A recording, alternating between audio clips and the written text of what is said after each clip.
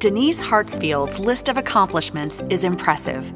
And although she's recently retired from the Forsyth County, North Carolina District Court bench, where she served five terms, she's not done yet. Denise has always been a high achiever. A Winston-Salem native, she earned an English degree at Spelman College in Atlanta, followed by a law degree from Wake Forest University. Early in her career as an assistant county attorney, Denise handled child support, abuse, and neglect cases. Her exemplary work with youths continued during her stint as a juvenile court judge. Among her tasks, Denise oversaw the court's drug treatment program.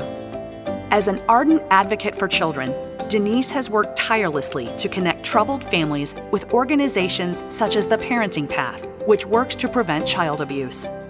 This perfectly aligns her with Exchange's longtime national project.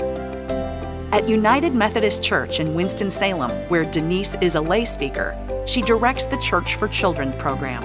She also serves on the boards of Carter G. Woodson School of Challenge, Hope of Winston-Salem, and the Delta Arts Center. For more than 20 years, Denise has been an adjunct faculty member at the Wake Forest University School of Law.